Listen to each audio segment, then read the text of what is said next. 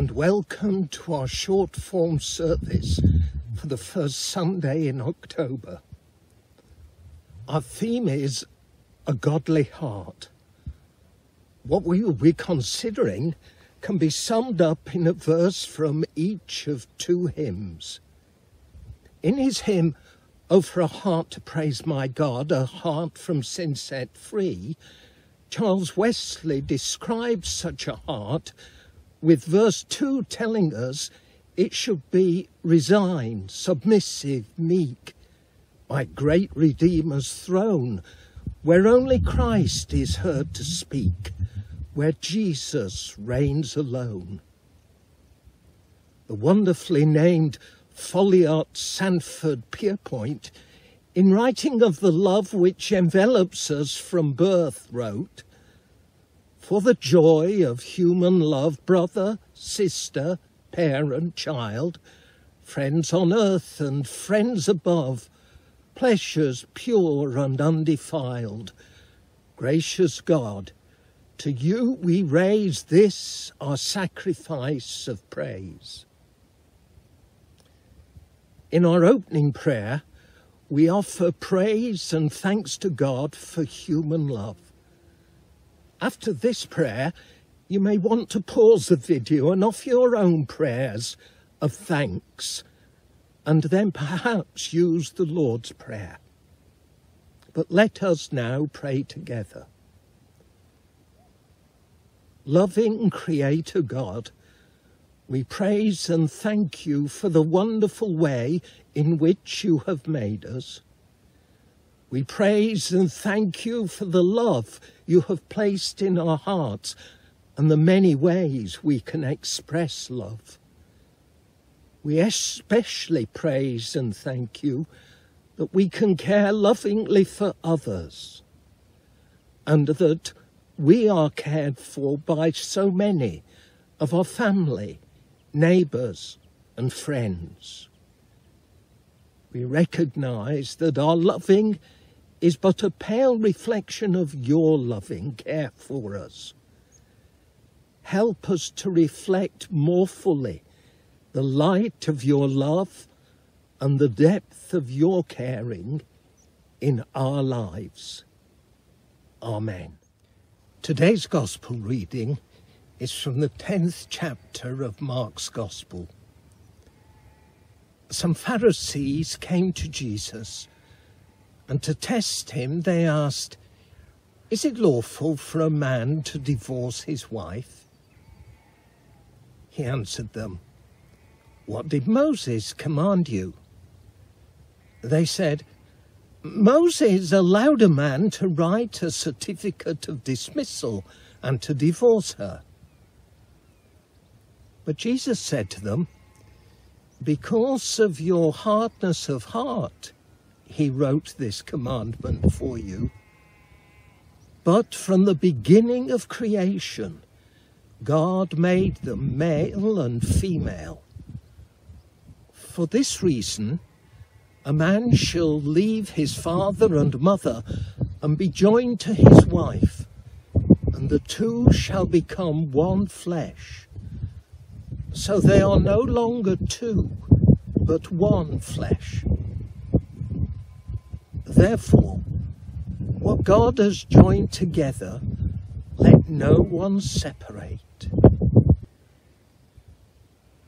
People were bringing little children to him in order that he might touch them. The disciples spoke sternly to them. But when Jesus saw this, he was indignant and said to them, Let the little children come to me. Do not stop them, for it is to such as these that the kingdom of God belongs. Truly, I tell you, whoever does not receive the kingdom of God as a little child will never enter it. And he took them up in his arms laid his hands on them, and blessed them. When I first looked at this gospel reading for today, my reaction was let's find a different passage. The first part of this is too contentious and difficult, but that is escapist. And we will see that the passage has much to offer, far beyond the narrow confines of ancient Jewish rules about divorce. The clues to the wider meaning of the divorce argument lie both in the verse leading into the passage and in the position of the argument in Mark's Gospel. The leading usually reads something like, He, that is Jesus, left that place, Capernaum, where the prior chapters is set, and went to the region of Judea and beyond the Jordan. This implies that Jesus travelled through Samaria to get from Capernaum in Galilee south to Judea and then east across the Jordan to the largely Gentile area of Perea. It was here in Gentile Perea that the Pharisees challenged Jesus. Why here and not in Jewish Judea? At the time that Jesus made this journey, both Galilee and Perea were ruled by Herod Antipas, one of the four sons of Herod the Great. As we know from the Gospels, including Mark, Herod Antipas had divorced his first wife and married the wife of his brother. And as everyone knew, matters were even more murky than Mark recalls. Herod Antipas' new wife, Herodias, was his niece, and she had instigated her divorce from Philip, something permitted by Roman and Greek law, but not by Jewish law. So by placing the story in Herod's territory, Mark is signalling that the whole story is a political commentary on the marriage of Herod Antipas and Herodias exactly the issue which had led to the imprisonment, subsequent execution of John the Baptist. And to be sure nobody misses the significance, Mark tells of Jesus talking with his disciples of a woman divorcing her husband. Now we must ask, why Mark has placed the story in the group of stories between the Transfiguration at the start of what we know as chapter 9 and the story of blind Bartimaeus the day before the entry into Jerusalem on Palm Sunday at the end of chapter 10. And why does the divorce argument lead straight into the metaphor the picture of citizens of God's kingdom being children. The central meaning of the Transfiguration story is that Jesus and the kingdom he is initiating are in direct descent from the law, the figure of Moses, and the prophets, the figure of Elijah. Then, in preparation for the stories of Holy Week, Mark collects together some stories which illustrate how the kingdom initiated by Jesus through his death and resurrection will be a development, a fulfillment of what is in the Hebrew Bible, our Old Testament. Mark's contemporaries would immediately realize that he sees this story as exemplifying how Jesus dealt with the political trickery of the Pharisees and at the same time displayed a truth concerning God's kingdom. In response to the Pharisees' challenge about divorce law, Jesus does what the great Pharisees have always done. He quotes passages of Scripture and seeks to harmonize what at first sight are conflicting messages. He does this by accepting the permissive law as a last resort and setting up stricter rules as a fence around the clear law.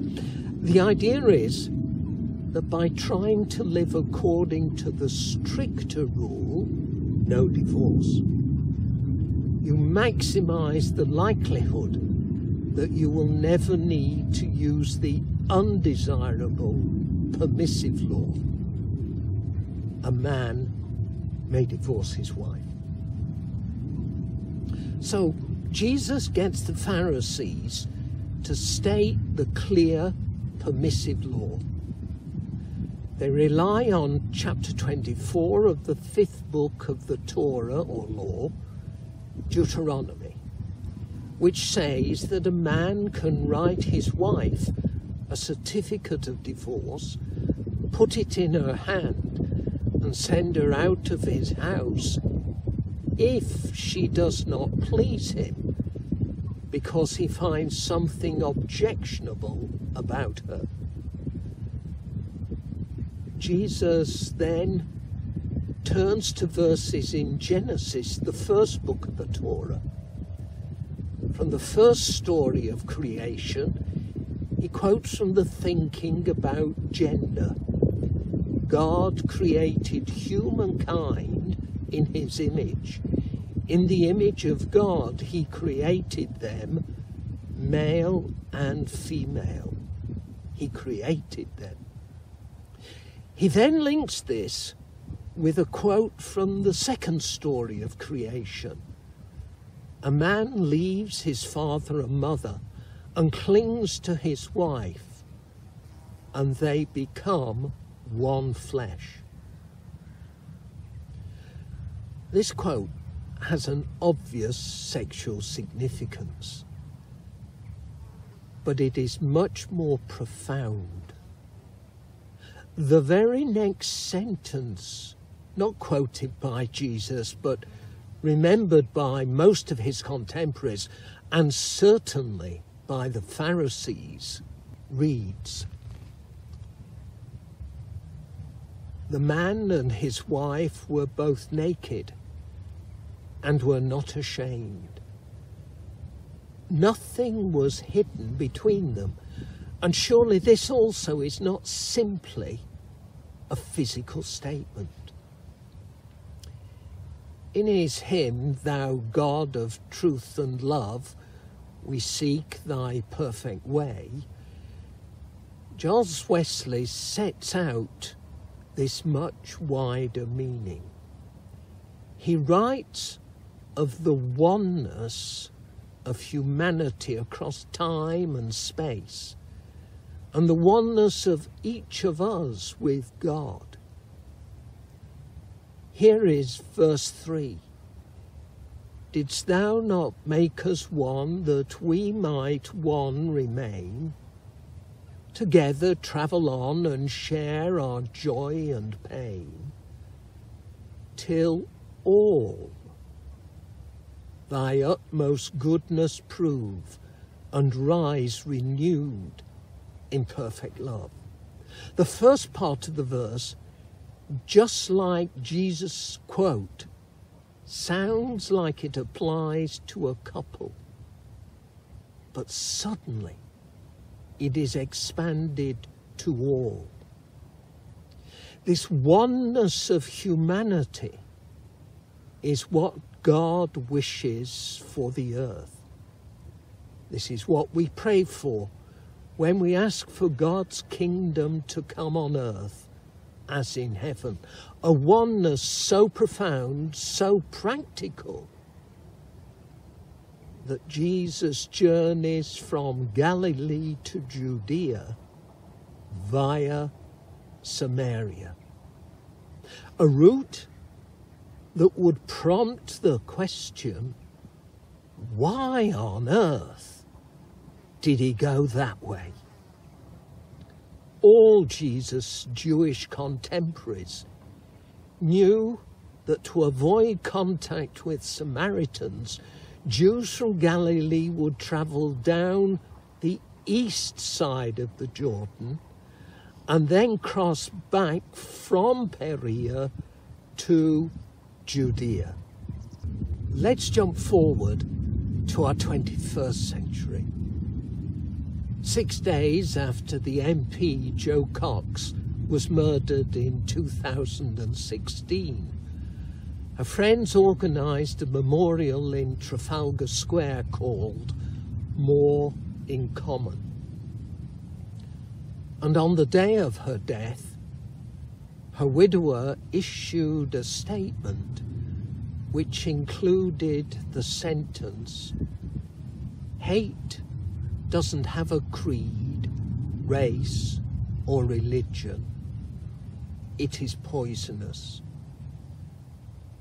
And of course, such hate led to an untimely death. This morning's gospel speaks to hate's opposite, love. Equally, love does not have a creed, race, or religion, but love is life affirming. And surely that is emphasized by Mark in the story of the children coming to Jesus immediately after the divorce argument. Mark is using the argument between the Pharisees and Jesus on divorce to point to wider realities of life. He's making the clear point that humankind has been created diverse in many, many ways. But at the level of our fundamental humanity, we have more in common. We are as one, all of us, brother, sister, parent, child, friends on earth and friends above using common phrases in our English language, we're called to think as one, to act as one. And to do that, we have to be fully open to each other. We must speak heart to heart with each other, and each of us with God. In all of this togetherness, it is vital that everything is done in love, that only Christ is heard to speak. In other words, as citizens of God's kingdom, Jesus must reign alone in our hearts. In a phrase, we must have godly hearts. Amen. This service was recorded at Tosson Burgh Hill Fort in Coquetdale, Northumberland. This settlement was active about two and a half to three thousand years ago. That is the time frame of the Hebrew Bible, our Old Testament. Throughout this time and longer, humans have striven to live in harmony with each other and with creation. Our human journey in God's creation goes on. A central claim of our faith is that the creator of the universe is with us on this journey, seeking to support and guide humankind by speaking heart to heart with us. It is to this loving creator that we have given praise in this service. wherever we are, God is with us with a peace that passes all understanding and a loving, saving, guiding and energizing presence in our hearts. Go in that peace, and may the God of peace go with you forever. Amen.